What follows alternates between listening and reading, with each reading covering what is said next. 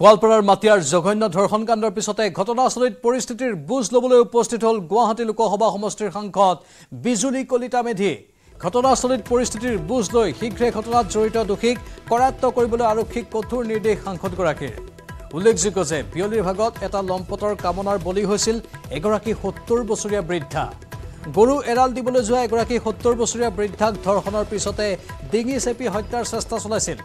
মহিলাগৰাকীয়ে চিঞৰ বাখৰ কৰাত ঘটনাস্থলীৰ পৰা পলায়ন কৰি এই সমগ্ৰ ঘটনাক অন্য মূৰে নিবলৈ চেষ্টা কৰিছিল সেই দুৰ্বৃত্তটোৱে। এই নিকৃষ্ট কাণ্ড সংঘটিত কৰা দম্পতিটোৰ পলায়নৰ খবৰ ঘটনাস্থলীত আৰক্ষী উপস্থিত হৈ আৰম্ভ কৰিছে তদন্ত। এই ভয়ংকৰ ঘটনাটোৰ পিছতে মানসিকভাৱে ভাগি পৰিছে মহিলাগৰাকী। মাতিয়া চিকিৎসালয়ত স্বাস্থ্য পৰীক্ষা কৰোৱাৰ পিছতে মহিলাগৰাকীক গোৱালপাৰালৈ চিকিৎসাৰ বাবে প্ৰেৰণ কৰা হৈছে। জঘন্য ঘটনাটোক লৈ অঞ্চলজুৰি তীব্ৰ চাঞ্চল্যৰ সৃষ্টি হৈছে।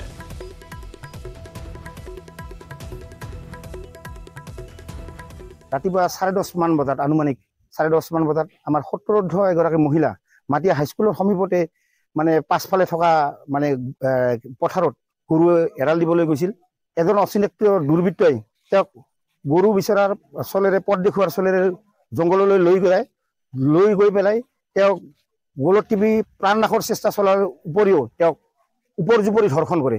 স্থানীয় প্ৰশাসন জিলা প্ৰশাসন অসম চৰকাৰক আমি কৰজোৰে অনুৰোধ জনাইছো যে ইয়াৰ যথোপযুক্ত তদন্ত তদন্ত তদন্ত প্ৰক্ৰিয়াৰে দোষীক কৰায়ত্ব কৰি উপযুক্ত ব্যৱস্থা গ্ৰহণ কৰিব লাগে। নহলে আমি মাটিয়াবাসী ৰাইজে তীব্ৰতৰ গণ আন্দোলন গঢ়ি তুলিবলৈ বাধ্য হ'ম। এগৰাকী মাতৃ বয়সৰ এগৰাকী মহিলা আৰু তেখেতে মানে এতিয়া যেনে ধৰণৰ আহ, গোটেই বৰ্ণনা কৰিছে যে গৰু চাবলৈ গৈছিল তেখেতে চাৰে নটা বজাত ৰাতিপুৱা চাৰে ন বজাত। আৰু তেতিয়া তেখেতৰ লগত যি অপ্ৰীতিকৰ ঘটনা ঘটিলে সেইটো গোটেই আচলতে সমাজখনৰ কাৰণে এটা চিন্তনীয় বিষয়। আৰু আমি ইতিমধ্যেই কৈছোঁ যে তাক দোষীয়ে উচিত শাস্তি পাব লাগিব আৰু অতি সোনকালে যাতে পুলিচ প্ৰশাসনে এই দোষীক যাতে কাৰায়ত্ব কৰে আৰু তাৰ বাবে যাতে বিহিত ব্যৱস্থা লয় তাৰ বাবে আমি ইতিমধ্যেই কৈছোঁ। আৰু আমি আশা কৰিম যে এনেধৰণৰ পৰিৱেশ কেতিয়াও যাতে আৰু কাৰো লগত নহয় তেনেকুৱা এটা পৰিৱেশৰ যাতে সৃষ্টি কৰে আৰু মানে খুব শক্তিশালীভাৱে আৰু সকলো সজাগ সচেতন হৈ থাকিব লাগিব এনেকুৱা ধৰণৰ ঘটনা আৰু যাতে কেতিয়াও কাৰো লগত নহয়। অতি ভয়ংকৰ ঘটনা আৰু অতি নিকৃষ্ট কাণ্ড। আমাৰ সাংবাদিক অৰূপ নাথ বৰ্তমান লাইভত আছে। এতিয়াও সমগ্ৰ অঞ্চলজুৰি চাঞ্চল্যৰ সৃষ্টি হৈ আছে। অৰূপ অধিক তথ্য বিচাৰিছোঁ আপোনাৰ পৰা।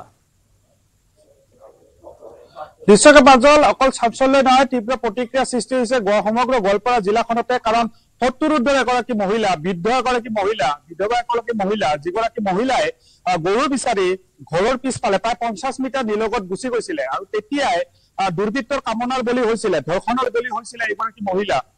আমি ভাগৰ আহ, আচলতে আগবেলা ভাগত বাৰটাৰ পূৰ্বৰ এই ঘটনা আৰু সেই ঘটনা বিয়লিৰ ভাগত পোহৰলৈ আহিছিলে।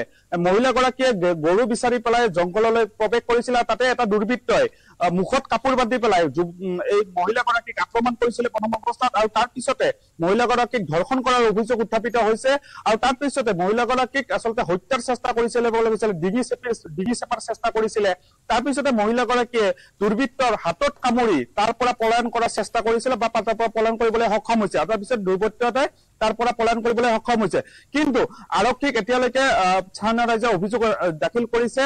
বা যি এজাহাৰ সেয়া দাখিল কৰিছে এই মুহূৰ্ততো। গোৱালপাৰা জিলাৰ অতিৰিক্ত আৰক্ষী অধীক্ষক গৰাকীয়ে মাটিয়া অঞ্চলতে উপস্থিত আছে। সমগ্ৰ যি ঘটনা তাৰে তদন্ত অব্যাহত ৰাখিছে। দুৰ্বৃত্ত যদিও বা এতিয়ালৈকে আৰক্ষীৰ হাতত পৰা নাই কিন্তু নিশাৰ ভাগতে আৰক্ষীয়ে এই দুৰ্বৃত্ত কৰায়ত্ব কৰাৰ আশ্বাস প্ৰদান কৰিছে। আৰু বিয়লিৰ ভাগত আজি বিয়লিৰ ভাগত গুৱাহাটী গুৱাহাটী লোকসভা সমষ্টিৰ যি সাংসদ বিজুলী কলিতা মেধিয়ে আহি পেলাই আৰক্ষীক সেই নিৰ্দেশনা জাৰি কৰিছে যে যি নাভুত নাচুত ঘটনা সংঘটিত হল মানৱ সমাজক লজ্জানত কৰা এক ঘটনা সংঘটিত হল অৰূপ অৰূপ। লম্পটটো কোন হ'ব পাৰে কি সন্দেহ কৰা হৈছে সেইটো মূল মূল কথা এই মুহূৰ্তত অ নিশ্চয়কৈ প্ৰাঞ্জল সেইটো কথা কব বিচাৰিম যদিও বা যিগতে যিটো পাখণ্ড যিটো লম্পট এই লম্পটক যদিও বা চিনাক্ত কৰিব পৰা হোৱা নাই কিন্তু আৰক্ষীয়ে নিশ্চয়কৈ কিছু ক্লু লাভ কৰিছে যদিও তদন্তৰ খাতিৰত আমাক সেই তথ্য প্ৰকাশ কৰা নাই। কিন্তু একাংশ লোকে কব বিচাৰিম একাংশ লোকে কব বিচাৰিছে বা অভিযোগ উত্থাপিত কৰিব বিচাৰিছে মহিলাগৰাকীৰ পিছফালে একাংশ সন্দেহজনক লোকে কিছুদিনৰ পৰা কিছু বসতি স্থাপন কৰিছিলে। আৰু সেই বসতি স্থাপন কৰা লোকৰ মাজতে কোনো এজন লোক হব পাৰে বুলি প্ৰকাশ কৰিছে। স্থানীয় লোকসকল আছে মই যিহেতু মাটিয়াতে এতিয়া উপস্থিত আছো স্থানীয় লোকসকল আছে তেখেতসকলৰ পৰা মই মন্তব্য ল'ব কাৰণে চেষ্টা কৰিম প্ৰাঞ্জল আপুনি অকণমান আগুৱাই আহিলে সুবিধা হ'ব অকণমান আগুৱাই আহিলে সুবিধা হ'ব। কি ক'ব অতি নাভুত নাচুত ঘটনা সংঘটিত হ'ল লজ্জাজনক এক ঘটনা কি ক'ব এই ক্ষেত্ৰত? এই ক্ষেত্ৰততো মানে মাটিয়া গাঁৱত এইটো ইতিহাসত মানে আমি আজি ফিফটি ফ'ৰ হ'ল ইয়াৰ এজ প্ৰথম ঘটিছে আৰু নিজৰ বাৰীৰ পঞ্চাছ মিটাৰমান দূৰত যদি গৰু ছাগলী বিচাৰি যাওঁতে এনেকুৱা সুৰক্ষিত হয় তাতকে আৰু মানে আচৰিত হ'ব লগা বিষয় নাইকিয়া। আমাৰ এটাই খালি অভিযোগ ইয়াতে এটা জুলি আছে। চেৰিকালচাৰ ফাৰ্ম এখন আছে ভিজিয়াৰ বুলি কয়। সেই জুলিত আগতে নাৱৰ জুলি বুলি কয় আৰু নাঙল জুলি বুলি কয় তাত মৰাপাত মানে পচাইছিল। এতিয়া সেইবিলাক পাত্ৰ মাটি খেতি মাটি বিক্ৰী হৈছে। আৰু অচিনাক্ত সন্দেহযুক্ত বহুত বসতি মানে তাত ঘূৰি উঠিছে। গতিকে আমাৰ সন্দেহ হয় সেই নতুন অচিনাক্ত বসতিৰ পৰাই তেনেধৰণৰ কোনো ব্যক্তিয়ে এনেকুৱা দুষ্কাৰ্য সম্পাদিত কৰা বুলি আমাৰ মানে সন্দেহ হৈছে। আৰু আমি আপোনাৰ চেনেলৰ এই নিউজ এইটিনৰ জৰিয়তে এটাই প্ৰশাসন আৰু চৰকাৰক আহ্বান জনাইছো কৃষিভূমিত বসতি যেন নহয় আৰু এইটো অতি সোনকালে এফেকশ্যন দিব লাগে। যে এই বৃহত্তৰ অঞ্চলৰ পানীখিনি এইফালে ওলাই ওলাই গৈ নদীত পৰে দুলে নদীত গতিকে ইয়াত অৰূপ অৰূপ বৰ ভয়ংকৰ এটা অভিযোগ সন্দেহজনক লোকৰ কথা কৈছে এই ব্যক্তিগৰাকীয়ে। এই ঘটনাটোৱে যেন অৰ্ণমাই বৰাৰ সেই কাণ্ডকেই আকৌ এবাৰ পুনৰুজ্জীৱিত কৰি দিছে। তেনে এক তেনে এক ধৰণৰ যেন এটা অভিপ্ৰায় আছিল সেই লম্পটটোৰ। মাটি দখল বা তেনেধৰণৰ কিছু কাম কাজৰ। নিশ্চয়তে মাঞ্জল প্ৰায় সত্য বুলি ক'ব পাৰি। অৰ্ণৱয় বৰাত যিটো ঘটনা সংঘটিত হৈছিলে প্ৰায় অনুৰূপ ঘটনা। কাৰণ মহিলাগৰাকীক হত্যা চেষ্টা কৰিছিলে। মহিলাগৰাকীৰ মুখত হাত ভৰাই দিয়া হৈছিল ডিঙিত চেপি ধৰা হৈছিলে। কিন্তু মহিলাগৰাকীয়ে অতি কৌশলেৰে এই দুৰ্বৃত্তৰ হাতত কামুৰি তাৰ পৰা পলায়ন কৰিবৰ কাৰণে সক্ষম হৈছে। আৰু যাৰ ফলত আচলতে মহিলাগৰাকী ধৰ্ষিতা হলেও জীৱনৰ জীৱনটো ৰক্ষা কৰিব প্ৰাণ ৰক্ষা কৰিবৰ কাৰণে সক্ষম হৈছে। আৰু অহাকালিৰ ভিতৰত আমি যি খবৰ লাভ কৰিছো প্ৰাঞ্জল অহাকালিৰ ভিতৰত অসম চৰকাৰৰ ৰাজ্যিক কেবিনেট মন্ত্ৰী এগৰাকী ইয়াতে আহি উপস্থিত হ'ব সমগ্ৰ তেখেতসকলে বুজ লব। আৰু মই যিটো কথা ইতিমধ্যে উল্লেখ কৰিছো বা উপৰোক্ত যিগৰাকীয়ে ইতিমধ্যে বাইক প্ৰদান কৰিলে যি বক্তব্য প্ৰদান কৰিলে তেখেতৰ সেইটো কথা উল্লেখ কৰিছে। মহিলাগৰাকীৰ এশ মিটাৰ নিলগতে মহিলাগৰাকীক গড়াই বসতি স্থাপন কৰিছে। আৰু সেইসকল লোকৰে কোনোবা নহয় কোনোবা লোক হয়তো এইটো কাণ্ডত জড়িত হৈ থাকিব বুলি তেখেতসকলে সন্দেহ প্ৰকাশ কৰিছে। আৰক্ষীক তেখেতসকলৰ বিৰুদ্ধে ব্যৱস্থা ল'বৰ কাৰণে ব্যৱস্থা ল'বৰ কাৰণে অনুৰোধ জনাইছে। আৰু স্থানীয় লোক এগৰাকী আছে তেখেতৰ পৰা মই কিছু মন্তব্য ল'বৰ কাৰণে চেষ্টা কৰিম প্ৰাঞ্জল এগৰাকী যুৱক হিচাপে যিটো ঘটনা সংঘটিত হ'ল মাটিয়া অঞ্চলত অতি দুৰ্ভাগ্যজনক অতি লজ্জাজনক এই কি ক'ব এই ক্ষেত্ৰত? অৰূপ পোনপ্ৰথমে তোমাক ধন্যবাদ জনাইছো। কথাটো হ'ল এনেকুৱা ধৰণৰ এতিয়া চাওক আমি জন্মৰ পৰা এইখন গাঁৱত এনেকুৱা ঘটনা কেতিয়াও দেখা নাছিলো। এইটো প্ৰথম ঘটনা গতিকে আমি খুব লজ্জিত হৈছো খুব দুখিত হৈছো। আৰু মই এটা কথা কওঁ যিখিনি আমাৰ অচিনাক্ত যিখিনি আমাৰ অচিন মুখ আহি ইয়াতে আমাৰ বসতি স্থাপন কৰিছে সেইখিনি আমি কেনেকে চৰকাৰে উঠাই দিয়ে সেইটো চৰকাৰে ব্যৱস্থা কৰিব লাগে। আৰু দুই নম্বৰ কথাটো হ'ল কি আমাৰ ইয়াতে আহি আমি কেনেকে আছো কিমান সুৰক্ষিত আমি কিমান সুৰক্ষিত হৈ আছো সেইখিনি আমাৰ এই অঞ্চলৰ যিখিনি আমাৰ সুৰক্ষিত অঞ্চল বা যিখিনি আমি অসুৰক্ষিত হৈ আছো সেইখিনি আমাৰ হিমন্ত বিশ্ব শৰ্মা ডাঙৰীয়া আমাৰ মুখ্যমন্ত্ৰী আহি তেওঁ নিজ চকুৰে চাব লাগে। কাৰণ তেওঁ প্ৰায় কৈ থাকে যে ধুবুৰী সমষ্টিত অবৈধ বাংলাদেশী আছে অমুক তমুক এতিয়া আমি গুৱাহাটী সমষ্টিৰ বাসিন্দা। আমি গুৱাহাটী লোকসভা সমষ্টিত আমি কিমান সুৰক্ষিত? সেই বস্তুটো তেওঁ জ্ঞাত হ'ব লাগে। গতিকে মই ইয়াৰ পৰা আমি সমূহ ৰাইজে দাবী জনাইছো। আমাৰ মুখ্যমন্ত্ৰী আহি ইয়াতে ঘটনাস্থলী আহি উপস্থিত হ'ব লাগে আৰু তেওঁ নিজ চকুৰে চাব লাগে। নিশ্চয়কে এক চেলেঞ্জিং বিষয় আৰক্ষীৰ কাৰণে কাৰণ দুৰ্বৃত্ত মুখত কাপোৰ বান্ধি আহিছিলে প্ৰাঞ্জল যিহেতু মুখত কাপোৰ বান্ধি আহিছিলে নিশ্চয়কে ওচৰ চুবুৰীয়া কোনোবা হ'ব পাৰে কাৰণ মহিলাগৰাকীয়ে চিনি পাব বুলিয়ে হয়তো দুৰ্বৃত্তই মুখত কাপোৰ বান্ধি আহিছিলে আৰু উলংগ অৱস্থাত আছিলে বুলি আমি তথ্য লাভ কৰিছো। আৰু এই ঘটনা সংঘটিত কৰিয়ে এই যুৱকজন বা মই যিগৰাকী দুৰ্বৃত্ত দুৰ্বৃত্তৰ বয়স বাইছৰ পৰা পঁচিছৰ ভিতৰত হ'ব বুলি মহিলাগৰাকী ইতিমধ্যে আৰক্ষীক স্বীকাৰোক্তি প্ৰদান কৰিছে আৰু ব- বাইছৰ পৰা পঁচিছৰ ভিতৰত এই যুৱকগৰাকী যিটো অপকৰ্ম সংঘটিত কৰিলে তাক লৈ কিন্তু সমগ্ৰ গোৱালপাৰা জিলাখনতে তীব্ৰ চাঞ্চল্যৰ লগতে প্ৰতিক্ৰিয়াৰো সৃষ্টি হৈছে প্ৰাঞ্জল। অৰূপ আপোনাক ধন্যবাদ জনাইছোঁ। এতিয়া গোটেই গোৱালপাৰাতে নহয় অসম জুৰি প্ৰতিক্ৰিয়াৰ সৃষ্টি হৈছে আৰু স্বাভাৱিকতে এই ঘটনাক কোনেও সহজভাৱে ল'ব পৰা নাই। অভিপ্ৰায় কি আছিল উদ্দেশ্য কি আছিল সেই চক্ৰটোৰ তাক লৈ এতিয়া স্বাভাৱিকতে বহুকেইটা প্ৰশ্ন উত্থাপন হৈছে। কাইলৈৰ দিনটোৰ পৰা স্পষ্ট হ'ব আৰক্ষীৰ তদন্ত যেতিয়া আগবাঢ়িব তেতিয়া কি কি আৰু দিশ উদঘাটন হয় সেয়াও হ'ব লক্ষণীয়।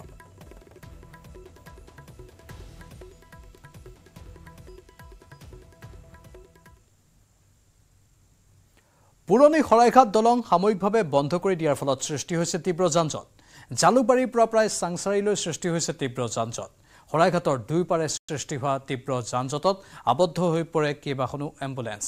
শৰাইঘাট দলঙৰ পৰা প্ৰায় চাংচাৰী পৰ্যন্ত আবদ্ধ হৈ পৰিল শ শ বাহন। ৰেল বিভাগ তথা প্ৰশাসনৰ মাজত কোনো ধৰণৰ সমন্বয় নথকাৰ ফলত শৰাইঘাটৰ দুয়োপাৰে জমৰ যাতনা ভুগিব লগা হ'ল সহস্ৰাধিক লোকে। গুৱাহাটী আৰু নামনি অসম সংযোগী শৰাইঘাট দলঙৰ দুয়োপাৰে ঘণ্টাৰ পিছত ঘণ্টা ধৰি আবদ্ধ হৈ পৰিল সৰু ডাঙৰ শতাধিক বাহন। পুৰণি শৰাইঘাট দলঙত সৃষ্টি হোৱা প্ৰকাণ্ড প্ৰকাণ্ড গাঁত তথা ফাট মেৰামতিৰ বাবে দুদিনৰ বাবে বন্ধ কৰি দিছিল ৰেল বিভাগে। পুৰণি শৰাইঘাট দলং বন্ধ কৰি মেৰামতি আৰম্ভ কৰে যদিও প্ৰশাসনৰ সৈতে ৰেল বিভাগৰ নাছিল কোনো সমন্বয়। যাৰ ফলত সন্ধিয়াৰ পৰা নিশালৈ শৰাইঘাট দলঙৰ দুয়োপাৰে সৃষ্টি হ'ল অভাৱনীয় পৰিস্থিতি। পৰিস্থিতি অনিয়ন্ত্ৰিত হৈ পৰাত নিশা আঠ বজাৰ পিছত যাতায়াতৰ বাবে পুনৰ মুকলি কৰি দিয়া হয় পুৰণি শৰাইঘাট দলং। কিন্তু দলং মুকলি কৰি দিয়ে যদিও এই পৰ্যন্ত শৰাইঘাটৰ দুয়োপাৰে সৃষ্টি হৈয়ে আছে তীব্ৰ যান-জঁট। কেইবাখনো এম্বুলেঞ্চ আবদ্ধ হৈ পৰাৰ দৃশ্য দেখুৱাইছোঁ। শৰাইঘাট দলঙৰ দুয়োপাৰে কেনে অভাৱনীয় পৰিস্থিতিৰ উদ্ভৱ হ'ল এই দৃশ্যবোৰ দেখাৰ পাছত আপোনালোকে অনুমান কৰিব পাৰিব।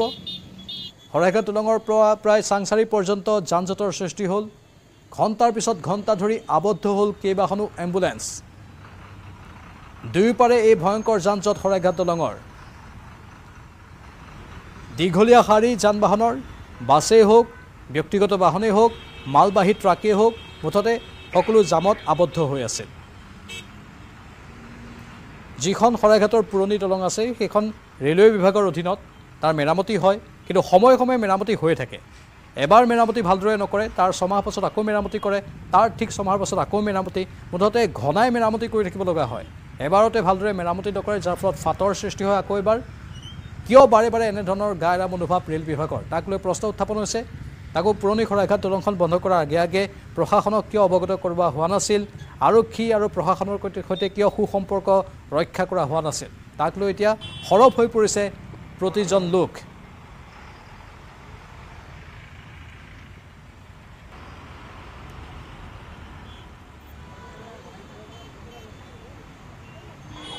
আৰু শৰাইঘাট দলঙৰ পৰা যান জঁটৰ দৃশ্য দেখুৱাব আমাৰ আজৰাৰ সংবাদদাতা ধ্ৰুৱজ্যোতি কলিতাই। আজি ৰাতিপুৱাৰ ভাগত পুৰণি শৰাইঘাট দলং ৰেল বিভাগে বন্ধ কৰি দিছিল যিহেতু পুৰণি দলাই শৰাইঘাট দলঙত ঠায়ে ঠায়ে খাট মেলিছিল আৰু সেই খাটৰ কাৰণে মেৰামতিৰ বাবে দুদিনৰ কাৰণে বন্ধ কৰি দিয়া হৈছিল পুৰণি শৰাইঘাট দলং আৰু তাৰ বাবে যান জঁটৰ সৃষ্টি হৈছিল নতুন শৰাইঘাট দলঙেৰে বাহনসমূহ অহা যোৱা কৰিছিল। যাৰ ফলত জালুকবাৰী হওক বা আমিনগাঁৱৰ দিশত বহু যান জঁটৰ সৃষ্টি হৈছিল। এই যান জঁটৰ প্ৰভাৱ গুৱাহাটী মহানগৰীতো পৰিছিল। প্ৰায় এঘাৰ বজাত বন্ধ কৰি দিছিল পুৰণি শৰাইঘাটৰ যাতায়াত ব্যৱস্থা। আৰু মই বৰ্তমান উপস্থিত আছোঁ শৰাইঘাট দলঙৰ নতুন দলংখনত। আৰু কিছু সময় পূৰ্বে শৰাইঘাট দলঙৰ যি পুৰণি শৰাইঘাট দলং ৰেল বিভাগে খুলি দিয়া হৈছে কিয়নো যি নতুন শৰাইঘাট দলঙেৰে বাহনসমূহ অহা যোৱা কৰিছিল বিভিন্ন যান জঁটৰ সৃষ্টি হৈছিল আৰু বহু মানুহ আবদ্ধ হৈ পৰিছিল। মানুহকে ধৰি বাহন এম্বুলেঞ্চ আবদ্ধ হৈ পৰিছিল আৰু সেয়েহে ৰেল বিভাগে কিছু সময় পূৰ্বে নিশাৰ ভাগত খুলি খুলি দিছে পুৰা- পুৰণা যি শৰাইঘাট দলং। আৰু এতিয়া যান জঁটৰ কিছু সৃষ্টি কমিছে। যান জঁটৰ এতিয়া বাহনসমূহ চলাচল কৰি আছে নিয়াৰিকৈ। আৰু ক'ব লাগিব যে পুৰণা শৰাইঘাট দলঙত এতিয়াও ফাট আছে। দিনৰ সময়ত কিছু মেৰামতি কৰিছিল যদিও সম্পূৰ্ণভাৱে মেৰামতি কৰিবলৈ নোৱাৰিলে। আৰু ইতিমধ্যে যি পুৰণা শৰাইঘাট দলং শৰাইঘাট দলং খুলি দিয়া হৈছে যাতায়াত চলাচল হৈ আছে যাৰ বাবে যান জঁট কিছু কমিছে জালুকবাৰীয়ে হওক বা আমিনগাঁৱৰ দিশতে। আনফালে আমিনগাঁৱৰ পৰা তীব্ৰ যান জঁটৰ পৰিস্থিতি দেখুৱাব আমাৰ সংবাদদাতা ৰন্তু বৈশ্যই। হয় শনিবাৰৰ দিনটো শৰাইঘাট দলঙৰ যান জঁটে জ্বলা কলা খোৱালে সকলোকে। আৰু পুৱা এঘাৰ বজাৰ পৰা যান জঁট সৃষ্টি হ'ল শৰাইঘাট দলঙৰ উত্তৰ পাৰ অথবা দক্ষিণ পাৰ। আৰু পুৱাৰে পৰা যি যান জঁট সৃষ্টি হ'ল। এই মুহূৰ্তত আহ, যান জঁট আঁতৰিছে আৰু যাতায়াতৰ বাবে মুকলি কৰি দিয়া হৈছে। মই পোনে পোনে দেখুৱাই আছো এয়া দলঙৰ আমিন গাঁৱৰ পৰা। আৰু বিভিন্ন প্ৰান্তত যিহেতু যান বাহন আবদ্ধ আছে যাত্ৰীসকল আবদ্ধ হৈ আছে এতিয়াও বহু লোক পথতে বাবে ৰৈ আছে। আৰু কিছু সময় পূৰ্বে শৰাইঘাট দলঙৰ মেৰামতিৰ বাবে যি যাতায়াত বন্ধ কৰা হৈছিল সেয়া মুকলি কৰি দিয়া হৈছে। ইয়াত আবদ্ধ হৈ থকা যাত্ৰীৰ লগত পোনে কথা পাতিম কিমান সময় ৰখি থাকিলে? মোৰ তিনি ঘন্টা হ'ল। তিনি ঘণ্টা? তিনি ঘন্টা ক'ৰ পৰা আহিছিল ক'ত যাব? মই আহিছো হাজোৰ পৰা। ছোৱালী আহিছে মৰিগাঁও। এতিয়া ৰৈ আছো এতিয়ালৈকে আহি পোৱা নাই। তিনি ঘণ্টা। ৰখি ঘন্টা হৈ গ'ল। তিনি ঘন্টা হৈ গ'ল পাঁচটাৰ পৰা ৰখিছো হয় আচলতে তিনি ঘণ্টা বা অত্যধিক সময় ৰখিবলগীয়া হৈছে আৰু এই মুহূৰ্তত মই আন এজন আছো ভাইটিৰ লগত কথা পাতিম। ভাইটি ক'ত যাবা? মই বাৰটা চাৰিলে ক'ৰ পৰা আহিছে? মই নাৰেংগীৰ পৰা আহিছিলোঁ। কিমান সময় ৰখিলা? তিনি ঘণ্টা বিছ মিনিটমান হ'ল চাগে। এতিয়া গাড়ী পাবনে নোপোৱা? এতিয়া গাড়ীটো পোৱাই নাপায় তাত নিনিয়ে তেজপুৰৰ লাইনৰ গাড়ী নিনিয়ে এতিয়া। খানা পিনা হৈছে নাই? নাই দুপৰীয়া কলেজত খোৱাই। আচলতে এই যি যান জঁটে সঁচাকৈ যন্ত্ৰণা ভোগাইছে নৰক যন্ত্ৰণা ভোগাইছে আৰু যি পুৰণি শৰাইঘাট দলং এয়া ৰেল বিভাগে সময়ে সময়ে মেৰামতি কৰি আহিছে ইয়াৰ পূৰ্বেও কেইবাবাৰো মেৰামতি কৰিছিল আৰু বহু ধন খৰচ কৰিছিল। কিন্তু কাৰ্যত কোনো কামত নাহিল। আৰু ইতিপূৰ্বে জাৰ্মানীৰ এটা কোম্পানীয়ে এই পথটো পুৰণি শৰাইঘাট দলঙৰ যি পথছোৱা সঘনাই এৰি যায় খলাবমা হয় গাত হয় সেয়া মেৰামতি কৰিছিল আৰু কোৱা হৈছিল যে বাহিৰৰ প্ৰতিষ্ঠানে কৰিছে উন্নত মানৰ হ'ব আৰু সেয়া গেৰেণ্টি থাকিব। কিন্তু কাৰ্যত সেয়া কোনো গেৰেণ্টি নাথাকিল। তাৰ পিছতে কেইবাবাৰো ৰিপেয়াৰিং কৰা হ'ল আৰু পুনৰ শনিবাৰৰ দিনটোত পুৱা এঘাৰ বজাৰ পৰা ৰিপেয়াৰিং কৰা হ'ল আৰু তাৰ পিছত এ, কিছু সময়ৰ পূৰ্বে যাতায়াতৰ বাবে মুকলি কৰি দিয়া হৈছে। তৎসত্বেও কিন্তু এতিয়া এনেদৰে যান জঁট দেখাই আছে যদিও যোৱা গৈ আছে তথাপিতো যান জঁট দেখাই আছে। এই মুহূৰ্ততো শৰাইঘাট দলঙৰ পুৰণি দলঙত এতিয়াও যান জঁট হৈ আছে আৰু মই পোনে পোনে এয়া আমিনগাঁৱৰ পৰা দেখুৱাই আছো। আমিনগাঁৱত এনেদৰে যদিও মুকলি কৰি দিয়া হৈছে যাতায়াতৰ বাবে তথাপিতো যান জঁট হৈয়ে আছে। শৰাইঘাট দলঙৰ দুয়োপাৰে সৃষ্টি হোৱা যান জঁটৰ দৃশ্য ৰেডিশ্যন ব্লুৰ সন্মুখৰ পৰা দেখুৱাব আমাৰ সাংবাদিক অসীম দত্তই। দিনৰ এঘাৰ বজাৰ পৰা শৰাইঘাট দলঙৰ যিখন পুৰণা দলং আছিল সেই পুৰণা দলংখনেদি চলাচল বা যাত্ৰীসকলৰ অহা যোৱা কৰা বা যান বাহন চলাচল সম্পূৰ্ণৰূপে বন্ধ কৰি দিয়া হৈছিল। কিয়নো পুৰণা দলংখনৰ যি ৰেল লাইন আছিল সেই ৰেল দলংখনত কিছু কিছু স্থানত ফাট মেলা দেখিবলৈ পোৱা গৈছিল আৰু ফাট মেলাৰ ফলত ৰেল বিভাগে অনিৰ্দিষ্ট কাললৈ বা সাময়িকভাৱে সেই দলংখনৰ যি যি চলাচল ব্যৱস্থা সেই চলাচল ব্যৱস্থা বন্ধ কৰি দিছিল। আঠ বজাৰ লগে লগে দলঙৰ যদিও বা পুৰণা দলংখন খুলি দিয়া হৈছে কিন্তু সেই বুলি সেই যি জাম বা সেই যি চলাচলৰ আহ, কৰাৰ যি সুচল ব্যৱস্থা সেই ব্যৱস্থা কিন্তু বৰ্তমান পৰ্যন্ত সুচল হোৱা দেখিবলৈ পোৱা নাই। এই মুহূৰ্ত পৰ্যন্ত এই নিশা পৰ্যন্ত এই যি জাম বা এই যি যাতায়াতৰ যি তীব্ৰ যান জঁটৰ যি পৰিৱেশ সেই পৰিৱেশ কিন্তু বৰ্তমান সময়তো অব্যাহত আছে। কেইগৰাকীমান লোক আছে? ক'ৰ পৰা আহিছে? খানাপাৰাৰ পৰা। কি কাৰণে জাম হৈছে গম পাই? খুলি দিয়া হৈছে আঠ বজাত খুলি দিছে কিন্তু তাৰ পিছতো এই দীঘলীয়া কিন্তু জাম। এইটো থাকে কি কৰিম আমি গম পোৱা নাই এতিয়ালৈকে আমি আহি আছো আমি আহি এতিয়া যাম পালোহি আৰু। এই মুহূৰ্ত পৰ্যন্ত এই যি পৰিৱেশ এই যি তীব্ৰ যান জঁটৰ পৰিৱেশ সেই পৰিৱেশ দেখিবলৈ পোৱা গৈছে। আৰু ৰাষ্ট্ৰীয় ঘাইপথত এই পৰিৱেশ বৰ্তমান সময়ত আমি যিহেতু ৰাষ্ট্ৰীয় ঘাইপথত আছো গতিকে ৰাষ্ট্ৰীয় ঘাইপথৰ এই পৰিৱেশ এই মুহূৰ্তত আমি দেখুৱাইছো। আৰু এনেদৰে দুপৰীয়া এঘাৰ বজাৰ পৰা বা দিনৰ এঘাৰ বজাৰ পৰা এনেদৰে তীব্ৰ যান জঁটৰ পৰিৱেশৰ মাজেৰে যাতায়াত কৰিব লগা হৈছে চলাচল কৰিব লগা হৈছে গুৱাহাটী মহানগৰীৰ জনতাই। যিসকল লোক চাংচাৰীলৈ গৈছিল বা চাংচাৰী দিশৰ পৰা যিসকল লোক জালুকবাৰীলৈ আহিছিল আজিৰ দিনটোত কিন্তু তেওঁলোকে উৎকট গৰমৰ মাজত তেওঁলোকে আচলতে দুৰ্ভোগ ভুগিব লগা এক পৰিৱেশৰ সৃষ্টি হৈছে। কাৰণটো হৈছে যে পুৰণা যিখন শৰাইঘাটৰ দলং আছিল সেই শৰাইঘাটৰ দলংখনৰ যি ৰেল লাইন আছিল বা ৰেল দলং আছিল সেই ৰেল ব্ৰিজখন বা ৰেল দলংখনত কেইবাটাও স্থানত ফাট মেলা পৰিলক্ষিত হৈছিল যাৰ বাবে ৰেল বিভাগ বা প্ৰশাসনে সাময়িকভাৱে স্থগিত ৰখাৰ নিৰ্দেশ দিছিল।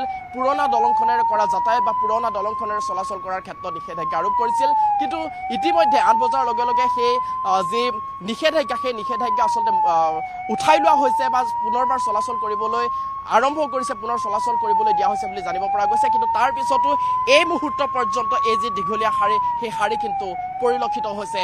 ৰাষ্ট্ৰীয় ঘাইপথ।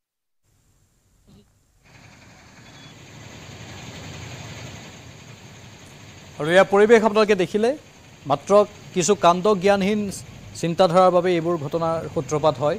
ৰেলৱে বিভাগে প্ৰশাসনক অৱগত কৰোৱা নাছিল।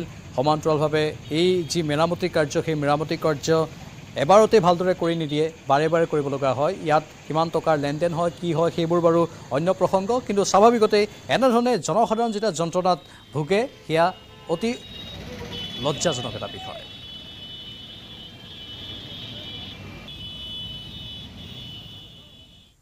পৰৱৰ্তী খবৰ। তিনি আগষ্টত জাগিৰোডত টাটা ছেমি কণ্ডাক্টৰ প্ৰকল্পৰ ভূমিপূজন সেই দিনটোতে আৰম্ভ হ'ব ছেমি কণ্ডাক্টৰ প্ৰকল্পৰ নিৰ্মাণ কাৰ্য। দুবছৰত টাটা ছেমি কণ্ডাক্টৰ প্ৰকল্পৰ নিৰ্মাণ কাৰ্য সম্পূৰ্ণ কৰাৰ লক্ষ্য নিৰ্ধাৰণ কৰা হৈছে। উন্নত হ'ব গুৱাহাটী আৰু জাগিৰোডৰ মাজৰ যাতায়াত ব্যৱস্থা। যোৰাবাটত হ'ব ৰিং ৰোড। টাটা প্ৰকল্পক কেন্দ্ৰ কৰি উন্নত হ'ব জাগিৰোডৰ সামাজিক আন্তঃগাঁথনি। টাটাৰ সমান্তৰালভাৱে জাগিৰোডত নিৰ্মাণ হ'ব আন কেইবাটাও প্ৰকল্প। অৱশ্যে এই উন্নয়নত যাতে জনজাতীয় লোকসকলৰ ভূমিৰ অধিকাৰৰ ক্ষেত্ৰত কোনো ক্ষতি নহয় তাৰ প্ৰতিও দিয়া হৈছে গুৰুত্ব। জাগিৰোডত এই মন্তব্য মুখ্যমন্ত্ৰীৰ। তিনি আগষ্ট তাৰিখৰ পৰা আমি আশা কৰিছোঁ যে টাটাৰ ছেমাই কণ্ট্ৰেক্টৰ প্ৰজেক্টত আমি ভূমি পূজন কৰিম। সিদিনাখনৰ পৰাই নিৰ্মাণ কাৰ্য আৰম্ভ হ'ব। দুবছৰৰ ভিতৰত টাটা প্ৰজেক্ট আমাৰ সম্পূৰ্ণ হ'ব। আৰু এটা আমাৰ প্ৰজেক্ট আছে ভাৰত চৰকাৰক আমি এখন আঁচনি দি থৈছোঁ পাঁচশ কোটি টকাৰ। জাগিৰোড আৰু গুৱাহাটীৰ মাজত কানেক্টিভিটিটো ইম্প্ৰুভ কৰাৰ কাৰণে। এতিয়া ইয়াত যিটো ৰিং ৰোড হ'ব ৰিং ৰোডে এটা পৰ্যায়লৈকে আমাক কানেক্টিভিটি দিব। কিন্তু বাকী কানেক্টিভিটিখিনি আৰু সুন্দৰ কৰাৰ বাবে আৰু আন আন সুবিধা ভাল ষ্টেডিয়াম স্কুল কলেজ এইবিলাকৰ কাৰণে আমি এখন পাঁচশ কোটি টকাৰ আঁচনি দি থৈ দিছোঁ। সেই আঁচনিখনৰ অনুমোদন হ'ল জাগিৰোডত টাটা প্ৰজেক্টটো কেন্দ্ৰ কৰি বহুতখিনি সামাজিক ইনফ্ৰাষ্ট্ৰাকচাৰ ডেভেলপ হ'ব। জিম্বাবুৱেৰ বিৰুদ্ধে টি টুৱেণ্টি শৃংখলা দখল টীম ইণ্ডিয়াৰ। পাঁচখনীয়া মেটছৰ শৃংখলাটো তিনি একৰ ব্যৱধানত দখল কৰে শুভমন গিল নেতৃত্বাধীন টীম ইণ্ডিয়াই। আজি শৃংখলাৰ চতুৰ্থখন খেলত দহ উইকেটত জয়ী হয় ভাৰত। টছত জিকি প্ৰথমে ভাৰতে বলিং কৰাৰ সিদ্ধান্ত লয়।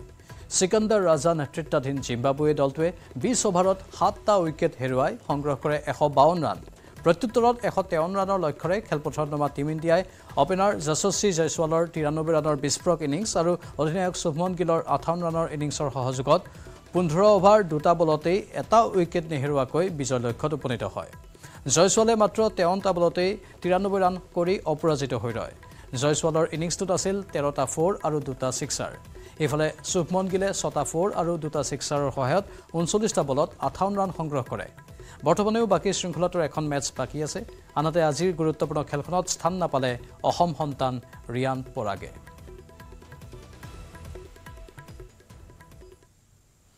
ছুপাৰ প্ৰাইমত এইখিনিতে সময় বাণিজ্যিক বিৰতিৰ।